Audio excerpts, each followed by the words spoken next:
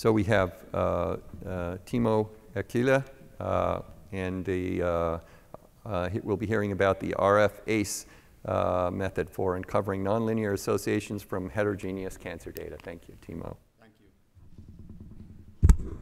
Can you hear me okay? I also want to thank the organizers for holding such a great symposium. There have been some fabulous talks that everybody has, has heard, and, and also want to thank the organizers for the opportunity to, to give this presentation in this symposium. Already looking forward to the next symposium. so as you all know, the TCGA is about collecting large collection of data from different sources with which to interrogate uh, the molecular mechanism driving the progression of cancer. Gene expression data, microRNA data, methylation data, copy number data, protein domain mutation information, clinical reports, but not only that, also outputs from, from analysis groups, for example, paradigm activities produced by, by the USC, UCSC, various algorithm outputs uh, built inside Firehose that you can take as yet another inputs to consider as features with which to explain the progression of cancer. So my interest has been to focus on association studies with all these heterogeneous collections of data that is being given to us. But before one can even think of doing that, there needs to be some kind of mechanism a systematic, uh, automated way to integrate all this data together into a feature matrix that then, with, with which is then easier to automatically uncover associations uh, from the data.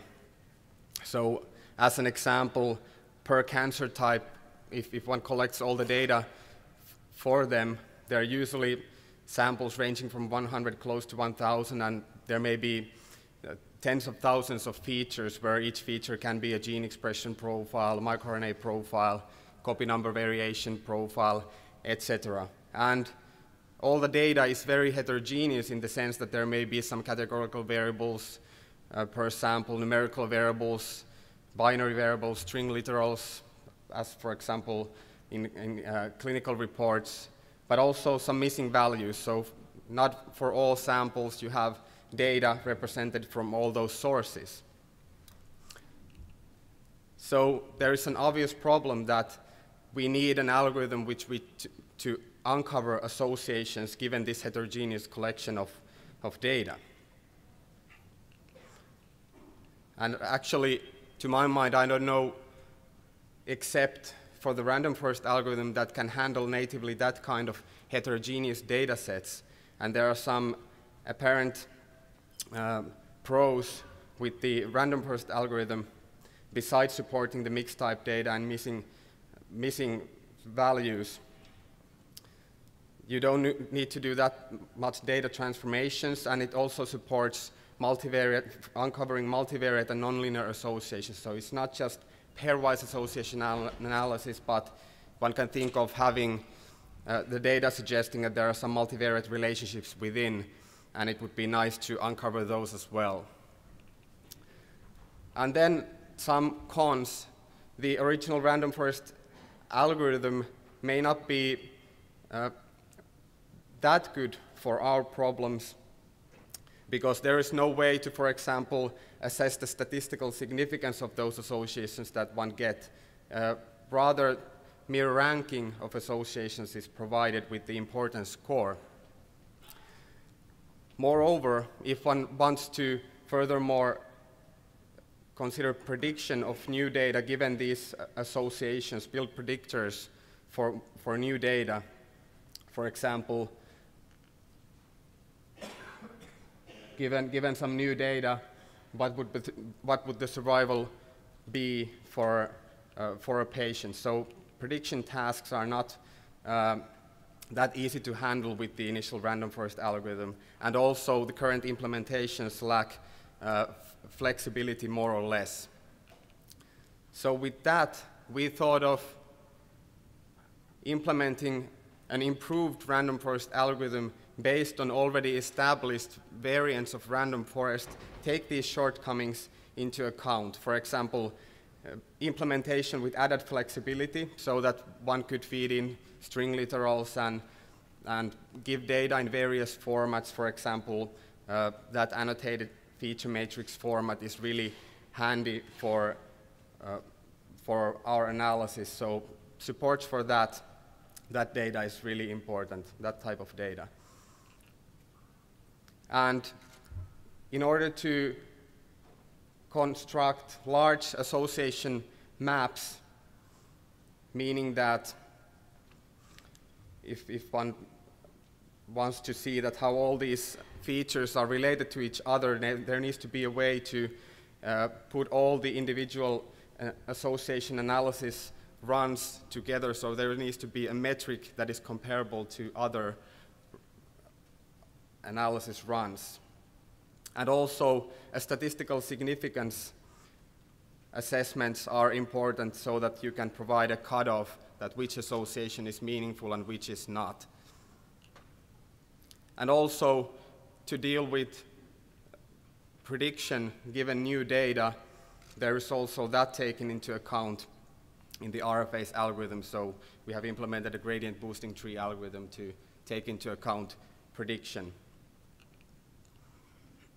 So if, if one considers uh, an example with the colorectal data, the gene expression of PRAC, which is the prostate cancer susceptibility candidate known to be expressed in colorectal data, and see what comes out when, when RFACE is being run targeting that particular gene expression profile. Here's just a snapshot of the, of the algorithm being run. It's a command line algorithm and you can see as an output here, basically, if the font is not too small, that there are some, some information regarding the data dimensions, which feature has been selected as target. Here is the feature header for, for PRAC, how much data is missing. So approximately 50% of the data was missing, but that doesn't matter because the algorithm can handle missing values. And then the algorithm automatically selects suitable parameter values to be, to be utilized in this particular run. So if you don't have any experience of, of uh, decision tree uh, based analysis, you can just simply feed in the data matrix, provide a target, and run the analysis. But if you, if you have better experience on the algorithm, you can manually fine tune the algorithm. And in this particular run, it was executed in less than 200 seconds and it could find 19 candidate associations with that, uh, that exceed the significance threshold. And, and if we look at the associations that come out in this particular example, out of 19, the top three associations were HOXB13, which is a proximal gene to PRAC, anatomic organ subdivision, which is basically uh, indicating that PRAC expression varies as a function of location uh, between colon and, and, rectum. And also its promoter methylation is, is uh, related to the expression, meaning that it's, it's basically silencing the PRAC when methylation goes up. And as I mentioned that now that there are these significant associations, you can also build a predictor based on this and see, for example, that how good these features are in explaining the PRAC expression. So going one step further, this was actually computed also. So you can take that as an, as an alternative output, that what is the prediction accuracy given that you have, you have found these significantly associated features to PRAC, and then you can build a predictor with gradient boosting trees and see that how well how well the data points for which there is non-missing value were predicted. So on x-axis you see uh, the measured data and on y-axis you see the predicted data. And the gradient boosting tree algorithm is uh, inherently applying bootstrapping so as to avoid overfitting.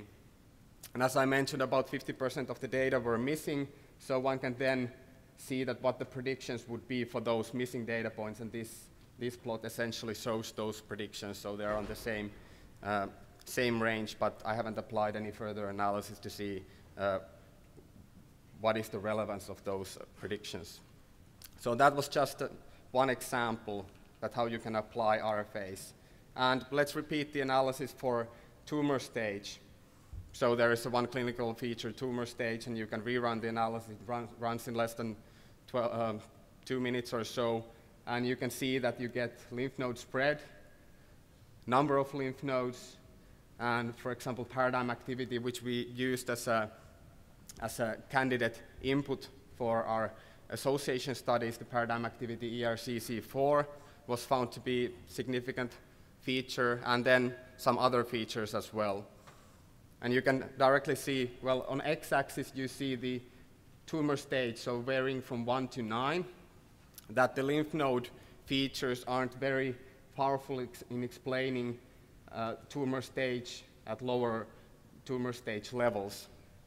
So it's kind of flat, whereas the paradigm activity has some variation on the lower, lower range, so you would, you would assume that when you combine these different features together in, so as to better predict tumor stage, that these, would, these features would complement each other, and that's what seems to be happening in this case, that on x-axis, again, you have the measured tumor stages, and on y-axis, um, the predicted ones. And again, about 50% of the data was missing, so the leftover data were predicted here on the left.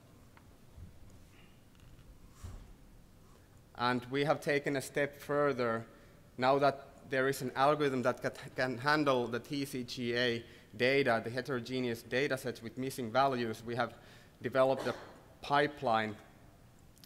Most of the credit goes to Shmulevich lab. There are many people involved in this, in, this, uh, in developing this pipeline where we automate, in automated fashion generate these feature matrices, analyze make a complete association maps with RF-ACE, store all the associations for all the cancer types that we have analyzed in a, in a queryable database, and uh, complement data-driven association information with literature, pathways, and that kind of things, and project everything onto a web service that can be used for exploring the massive amount of association information that has been generated with our approach. So as a summary, uh, the, the core of my presentation was to introduce you to RF-ACE, which essentially combines good parts of, from various established algorithms like the random forest algorithm, gradient boosting trees, and uh, most importantly, ACE, which has been, this, uh, which has been published uh, a few years ago so there are not that many new parts that we introduce. Rather, we put them into a um, easily usable package. It's a generic and fast implementation of, of decision tree-based learning, and it suits, suit, seems to suit pretty well to TCGA data. And novel, as novel aspects, there are p-values uh, assigned for associations, and you can do pretty accurate prediction with gradient boosting trees. And it, this is an open source project, and you can, you can look, that, look that web page up. Uh, and it's also a work in progress, so there, there are some things that need to be improved and so on. But I think we're pretty close, uh, close in finishing implementing the algorithm. Many, many thanks go to Shmulevich Lab, so most of the work has been done by by members of Shmulevich Lab, but also some people from Tampere University of, of Technology and, and um, yeah, so thank you for your attention.